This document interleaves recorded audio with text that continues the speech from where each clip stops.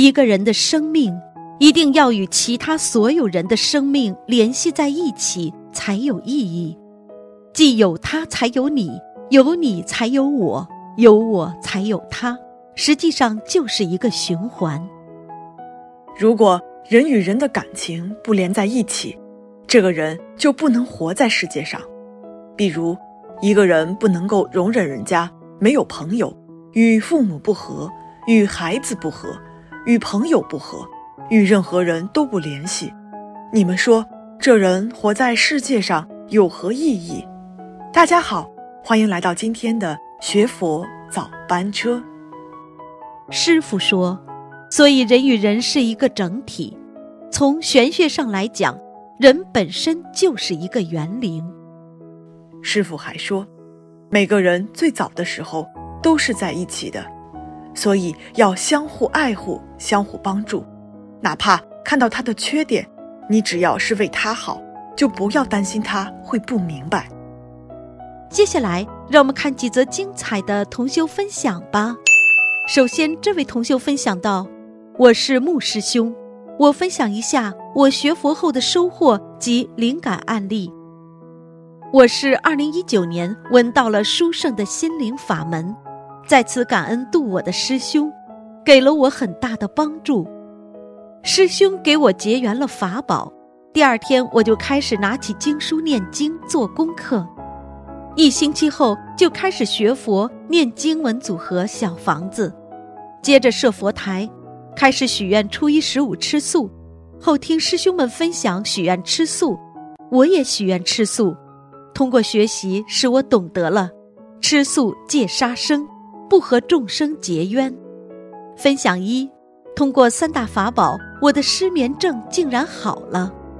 在没学佛前，吃过很多中药进行调理，效果不明显。我自从念经后，每天做功课，念经文组合小房子。许愿、放生、忏悔、读白话佛法、听师傅的开示，每天晚上听着师傅的开示录音入睡，三个月后就能睡五至六个小时，半年后就彻底好了。感恩大慈大悲观世音菩萨，感恩师傅。分享二，我多年的胃病好了，通过学佛念经改善多了。原来一年四季不敢吃凉的东西。冬天吃水果要蒸一下才敢吃，现在胃基本上好了。通过学佛念经，冬天也能吃水果了。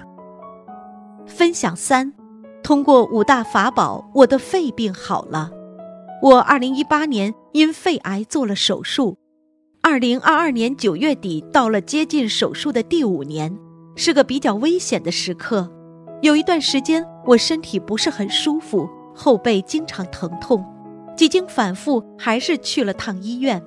医生说我的肺有炎症，需要打点滴，后开了些消炎药。医生说三个月后再做复查。这期间，我女儿有梦到她的牙齿掉了一颗上牙，很不好。每隔几天，我也有梦境，梦到自己手指上长东西，很不好。此刻心里像压了块大石头，担心的不能用言语表达。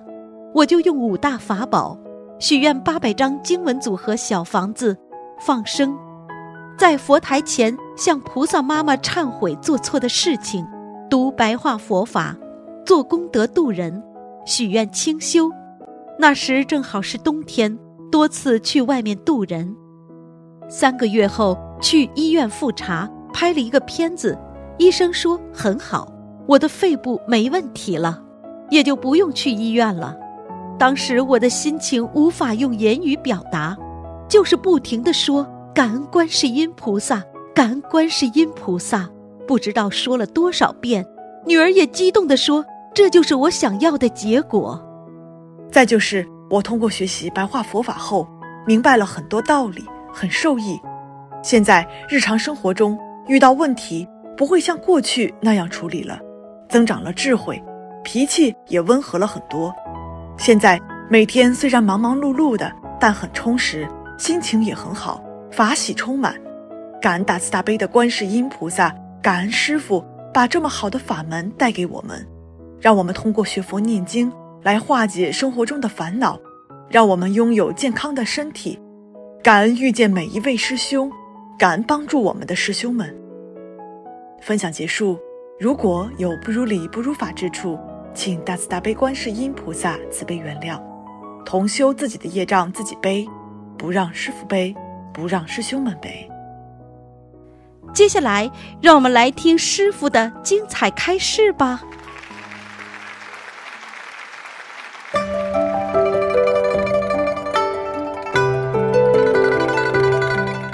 卢台长精彩开示专题，有关端午节的佛学开示。一、精彩问答开示。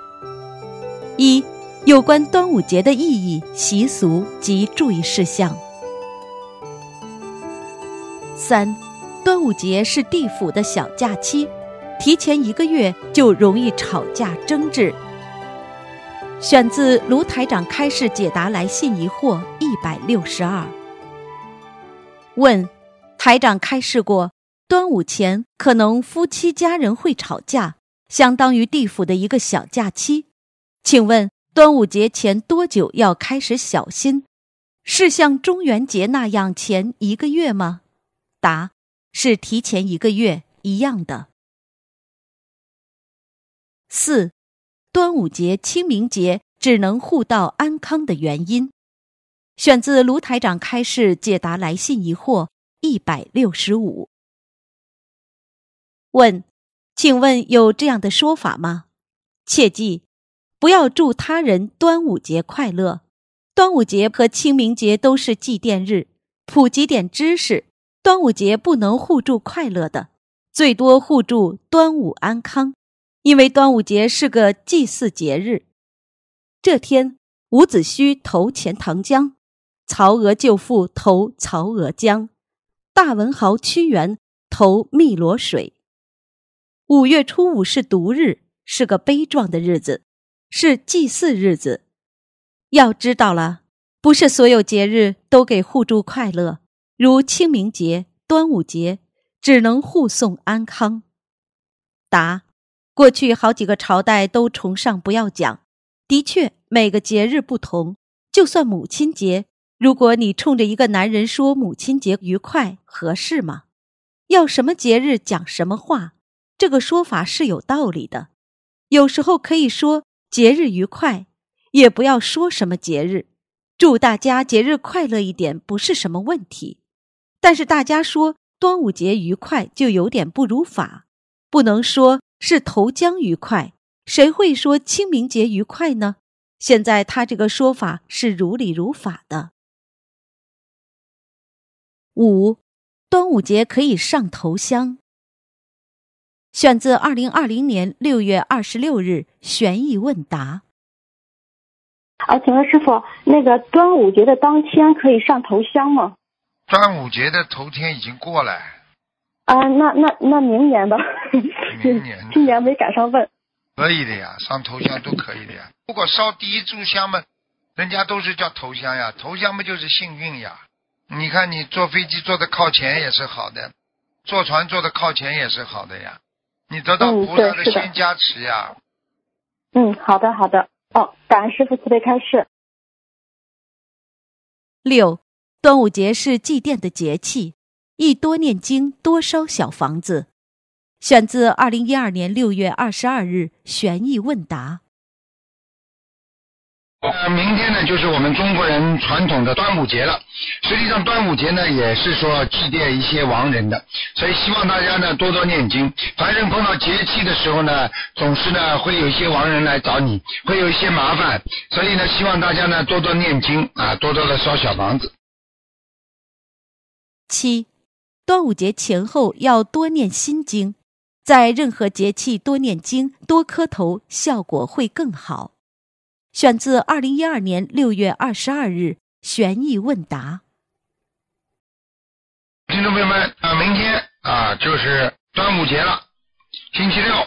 那么大家都知道，中国人呢吃粽子是一个礼节，实际上呢是一种怀念啊，屈原。虽然这是中国的一个典故，端午节，实际上这个节呢是根据任何在人间的任何一个节日，都是天上和地府都要同意的。实际上，像这种呢，并不是单单只是指屈原的问题，是指所有我们啊生活在人间的一些父母亲啊，我们的长辈啊，他们所有的恋人啊，他们所有过去欠人家债的啊那些人，如果跟你有缘分的话，他们都会过来找你的。所以在这个节日之前，人有时候会啊吵架不开心啊啊，或者最重要的问题是感情上会发生很多问题。所以希望大家呢，在端午节的左右呢多念心经。如果你没有小房子的话呢，多保证自己心经。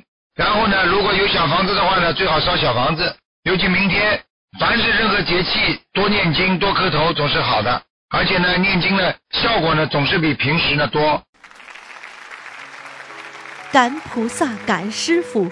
在今天节目的最后，让我们再一起听师傅的几句佛言佛语。另外，世界上的万物实际上和一切有生命的现象也存在着密切的关系。也就是说，世界上的万物都是有情有义的。好了，以上就是今天学佛早班车的内容。希望每个人都可以元气满满迎接每一天，加油吧，学佛人！嗯，同时也期待明天同一时间与您在这里再次相会。